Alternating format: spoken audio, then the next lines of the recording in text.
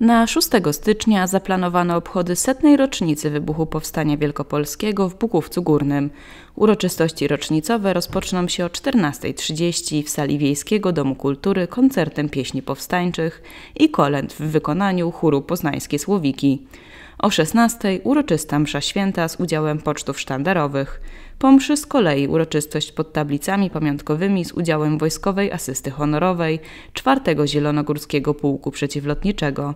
Mieszkańcy Bukówca Górnego proszeni są o wywieszenie flag powstańczych.